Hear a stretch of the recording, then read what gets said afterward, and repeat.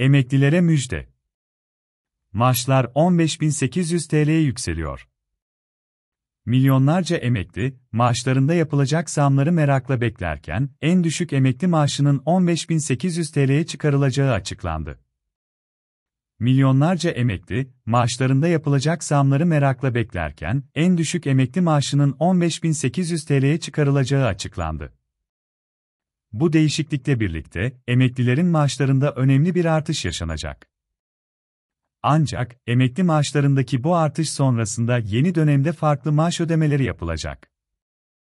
Emekli maaşlarında büyük değişiklik.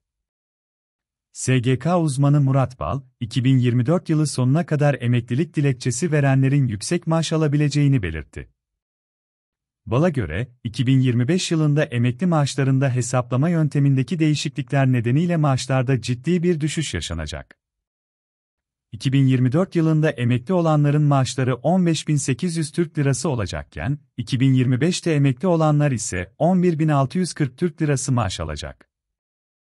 Örneğin, 2024 yılında 40.500 Türk Lirası maaş alacak biri, 2025'te emekli olursa 29.610 Türk Lirası maaş alacak ve aradaki fark 10.900 TL'yi bulacak. Yüksek maaş için dilekçeyi bu yıl verin. Ama emekli adaylarına yüksek maaş almak için 2024 yılı sonuna kadar emeklilik dilekçelerini vermelerini tavsiye etti. Bu sayede maaşlarında daha yüksek bir artış elde edebilecekler. Emeklilik planı yapanların bu önemli detayı göz önünde bulundurmaları, ileride yaşayacakları maaş kaybını engelleyebilir.